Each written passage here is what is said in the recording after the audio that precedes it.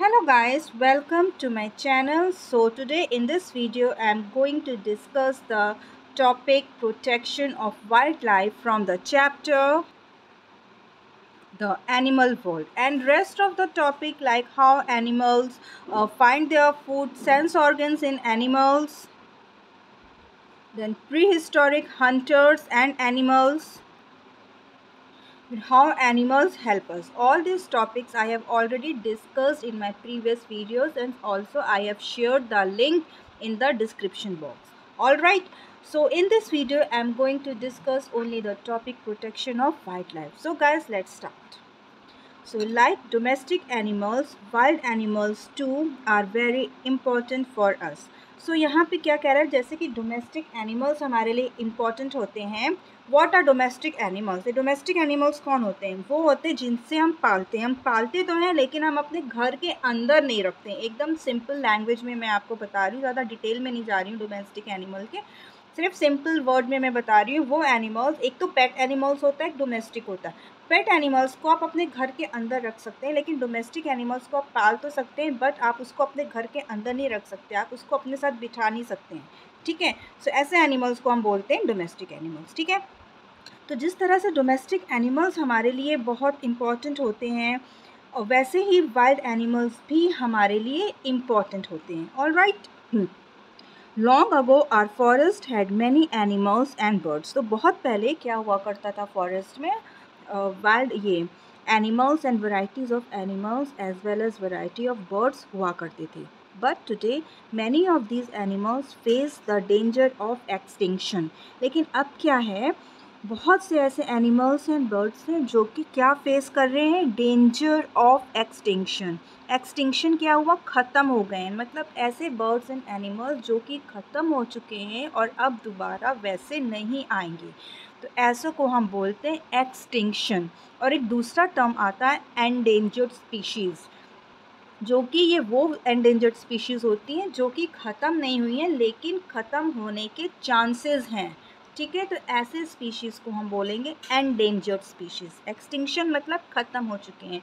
तो पहले तो बहुत varieties of animals and birds हुआ करते थे, लेकिन अब क्या है? अब जो है आजकल के टाइम में क्या हो चुका है, ये सारे जो एनिमल्स एंड बर्ड्स हैं, वो they are facing the problem of danger of extinction ठीक है? Animals are often hunted in forest because they give us products like leather and meat अब जो एनिमल्स होते हैं फॉरेस्ट में उनको मारते हैं, उनका शिकार करते हैं। क्यों करते हैं? क्योंकि उनसे क्या हमें मिलता है? लेदर मिलता है मीट मिलता है, ठीक है? और भी बहुत सारी चीज़ें हमको मिलती हैं।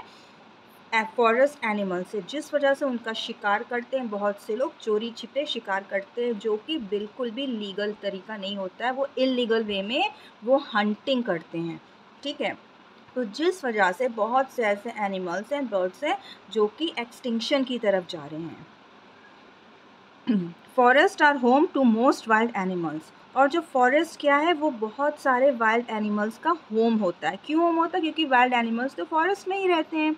When forest are cut down animals lose their shelter and hunting ground ठीक है? अब जब फॉरेस्ट जब कट जाएगा, ठीक है तो क्या होगा? अब एनिमल्स फॉरेस्ट में रह नहीं पाएँगे, वो रह नहीं पाएँगे, वो खा नहीं पाएँगे फॉरेस्ट में, ठीक है? उन्हें खाने के लिए कुछ नहीं मिलेगा। तो इस वजह से जो वाइल्ड एनिमल्स हैं, उन लोग बहुत प्रॉब्लम फेस कर रहे हैं।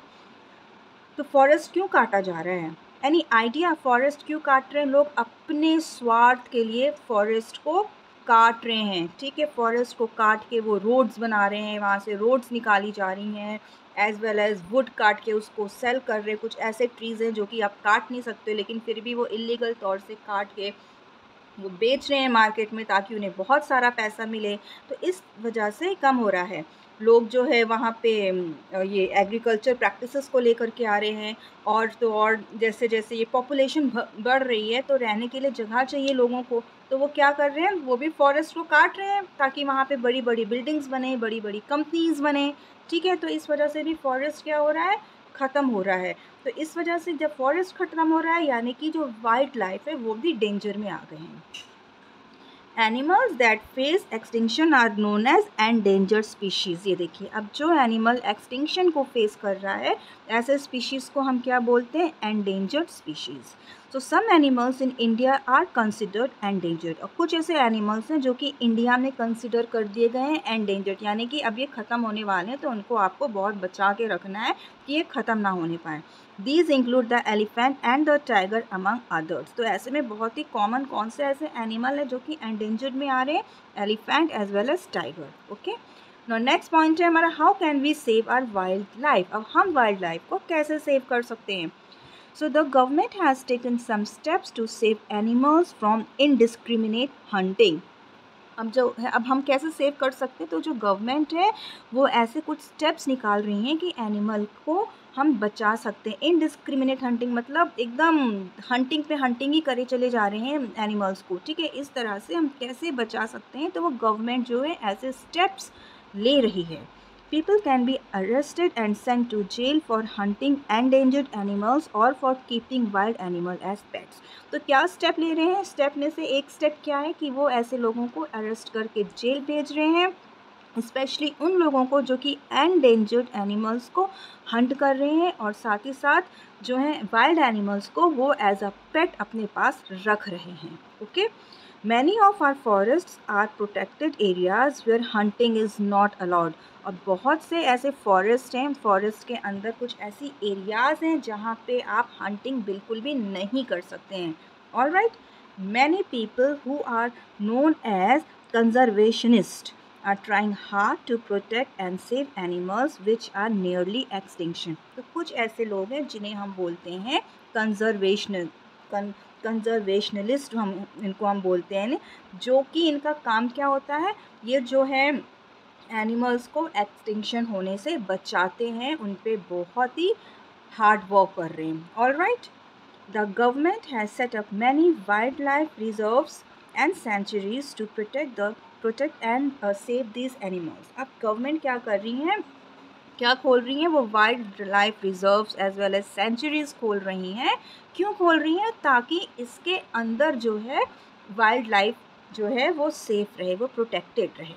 This is a strict ban on hunting of these animals और साथ ही साथ वहाँ पे जो है वाइल्ड लाइफ रिजर्व्स में और सेंचुरीज़ में हंटिंग करना एकदम बैन है स्ट्रिक्टली बैन है। अब ऐसे कौन कौन से प्रोजेक्ट हैं जो गवर्नमेंट ले करके आ रही है कि इनके अंदर जो है टाइगर और एलिफेंट को हम सेफ़ रख सकते हैं? So that tiger and elephants are protected ऐसे कौन से प्रोजेक्ट्स ला रही है government? Project Tiger is an initiative by the government to save tigers तो प्रोजेक्ट टाइगर के अंदर हम टाइगर इसमें क्या है? टाइगर को हम प्रोटेक्ट कर सकते हैं। The Asian elephants has also come under threat now और साथ ही साथ क्या हो गया एशियन एलिफेंट्स भी अब थ्रेट में आ रहे हैं। तो इनके लिए भी प्रोजेक्ट बनाया है कि इसके अंदर भी जो है हम एलिफेंट को प्रोटेक्ट कर सकते हैं ओके नेक्स्ट टॉपिक है हमारा पॉइंट है सेव द टाइगर ठीक है? So on first April 1973 the Indian government started Project Tiger तो ये जो प्रोजेक्ट टाइगर है, ये कब स्टार्ट हुआ? फ़र्स्ट अप्रैल 1973 में इंडियन गवर्नमेंट ने एक प्रोजेक्ट खोला जिसका नाम था प्रोजेक्ट टाइगर इसमें क्या है? टाइगर्स को प्रोटेक्ट किया जाता है। So the main goal of this project was to protect the tigers in the wild and gradually increase their numbers. तो इस प्रोजेक्ट का मेन पर्पज़ क्या है? कि यहाँ पे प्रोजेक्ट को जो है प्रोटेक्ट किया जाता है एज वेल एज टाइगर्स के नंबर को इंक्रीज़ किया जा रहा है। इंक्रीज़ क्यों किया जा रहा है? क्योंकि अगर इनके नंबर्स को इंक्रीज़ नहीं किया जाएगा तो इन फ्यूचर क्या होगा? ये टाइगर्स क्या हो क्या हो जाएँगे? एक्सटिंक्ट हो जाएँगे। ठीक है? तो इसलिए इनके नंबर्स को इंक्रीज़ किया जा रहा है। Hunting of tigers was made illegal तो टाइगर को मारना क्या है? वो वो एकदम इलीगल कर दिया गया है। Special parks known as tiger reserves were develop to conserve the tiger अब ऐसे कुछ पार्क्स भी हैं, जैसे कि टाइगर रिजर्व्स खोल दिया गया है। इसमें क्या है? पूरे हम टाइगर को प्रोटेक्ट करके रख सकते हैं, उसमें हम हंट नहीं कर सकते हैं, उनकी हंटिंग नहीं कर सकते हैं।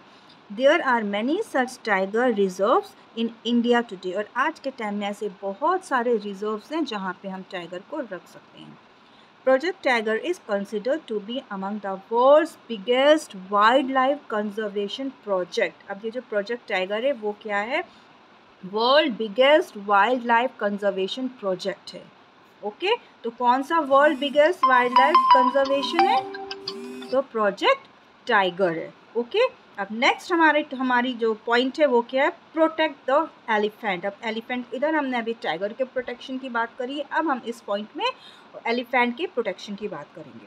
ठीक है? The Asian elephant is also under threat from large developmental project such as dams roads mines agricultural plantation and expanding human settlements तो अब जो एशियन एलिफेंट्स हैं, वो क्यों ये एक्सटेंशन के करीब आ रहे हैं? उन्हें क्यों एंडेंजर्ड स्पीशीज़ बोला गया? क्यों? क्योंकि अब ये भी ख़त्म हो रहे हैं। क्यों ख़त्म हो रहे हैं? क्योंकि बहुत सारे ऐसे प्रोजेक्ट्स जो निकल रहे हैं, जिस वजह से एलिफेंट्स ख़त्म हो रहे हैं, क्योंकि फॉरेस्ट ख़त्म हो रहा है तो एलिफेंट भी ख़त्म होते जा रहे हैं। तो फॉरेस्ट कैसे ख़त्म हो रहा है? क्या क्या प्रोजेक्ट्स आ रहे हैं, जिस वजह से फॉरेस्ट ख़त्म हो रहा है? जैसे डैम्स रोड्स माइंस डैम्स बन रही हैं रोड्स बन रही हैं, ठीक है, अब फॉरेस्ट में हम रास्ता बना दे रहे हैं तो क्या होगा? एलिफेंट उस रोड पे नहीं जा सकता है ना? जिस रोड पे ह्यूमन बींग जा रही है, उस रोड पे एनिमल ये एलिफेंट नहीं जा पाएँगे। ठीक है, अगर वो एक फॉरेस्ट से दूसरे फॉरेस्ट ट्रैवल कर रहे हैं, वो नहीं कर पाएँगे, क्यों नहीं कर पाएँगे? क्योंकि बीच फॉरेस्ट में रोड जो बन गई है ह्यूमन बींग्स को जाने के लिए। अगर किसी ने देख लिया एंड ये एलिफेंट को तो क्या करेंगे? वो उसको पकड़ के ले जाएँगे या फिर उसको मार देंगे? इजेंट इट तो इसलिए जो एलिफेंट की लाइफ वो डेंजर में आ गई माइंस देन एग्रीकल्चरल प्लांटेशन वही एग्रीकल्चर ये प्लांटेशन स्टार्ट हो गया as well as expanding human settlements यानी कि अब ह्यूमन पॉपुलेशन बढ़ रही है तो उनको रहने के लिए जगह चाहिए, उन्हें काम चाहिए, काम के लिए कंपनीज़ खुल रही हैं, खाने के लिए एग्रीकल्चरल प्रैक्टिसेस लेकर के आ रहे हैं, वहाँ पे क्रॉप्स लगाया जा रहा है। All right so as a result, the places where wild elephants live and their tradition, their traditional migratory routes have shrunk. तो जो, जिस वजह से क्या हो रहा है, जो इनका जो ट्रेडिशनल माइग्रेटरी रूट्स है ना वो श्रंक होता जा रहा है मतलब सीमित होता जा रहा है वो। ऑल राइट जिस वजह से एलिफेंट्स भी मतलब ख़त्म होते जा रहे हैं।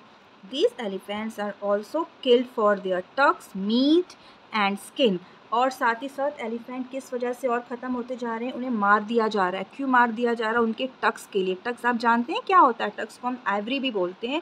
आपने हाथी की ट्रंक देखी है ना? ट्रंक के साइड में दो लंबे लंबे टीथ होते हैं, ठीक है? उसको हम क्या बोलते हैं? टग्स बोलेंगे या हम उसको एवरी भी बोल सकते हैं।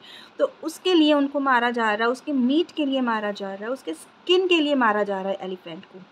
So India along with Vietnam and Myanmar has banned the capture of elephants तो इंडिया में इंडिया में, वियतनाम में और म्यांमार में, इन कंट्रीज़ में क्या हो रहा है? एलिफेंट को पकड़ना एकदम बैन कर दिया गया है।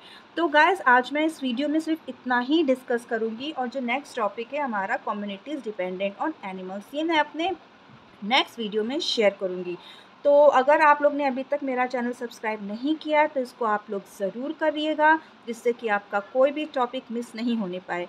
As well as if you are the new viewer so please don't forget to subscribe my channel alright guys so thanks for watching my video और मिलते हैं हम लोग अपने next video में तब तक के लिए bye bye and God bless you